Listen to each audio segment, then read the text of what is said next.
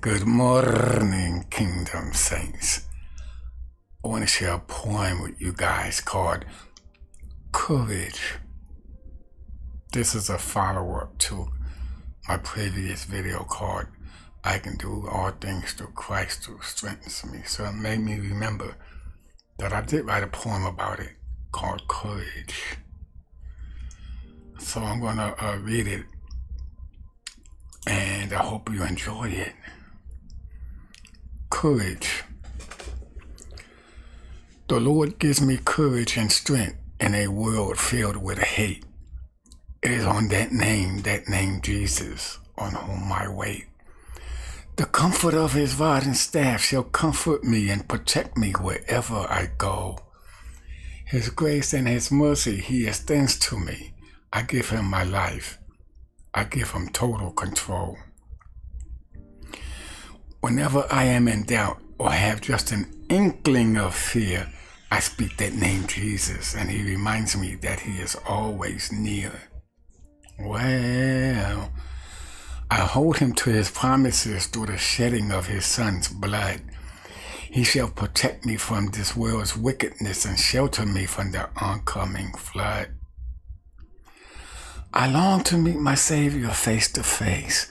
I shall be there to give him a warm embrace. I shall always walk in God's will and be under his grace. I am fortified by his mercy and by his authority. I live for my Savior Jesus because he died for me. This world has nothing on me, you see. I am spiritually correct in the kingdom of God.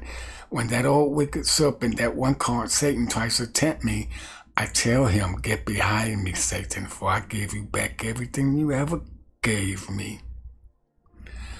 Walking in God's grace and doing my Father's will keeps me protected. I am never neglected. This vessel he has selected, and I do his will as requested.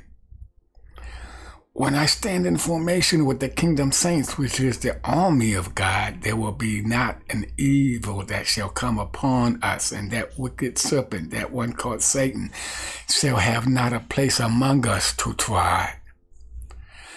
When I open and read my Bible every day that I wake, that evil one, that one called Satan, gets a tremendous headache.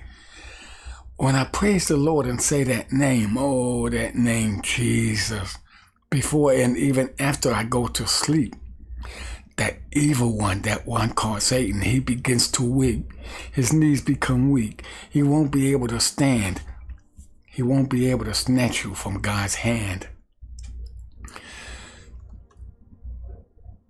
When I go to church to praise Jesus and his magnificent name throughout the body of Christ is praised, that wicked one, that one called Satan, becomes disoriented. He becomes dismayed.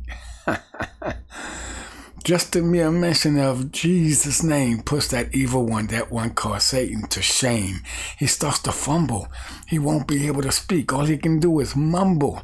Throw that name Jesus at him each time and watch that evil one stumble and become humble. This is why I do not worry about the troubles of this world, you see. For if God is with me, who, tell me who, can stand against me? Amen. Praise the Lord. Praise his mighty name. Amen. Amen. Thanks for listening, viewers, subscribers. I hope this poem touches somebody's heart today and lets them know that we have all the power and all the authority in Christ Jesus. And there's nothing in this world that can stop the mighty lion from the tribe of Judah. Am I right about it? If you like this video, say amen, praise the Lord.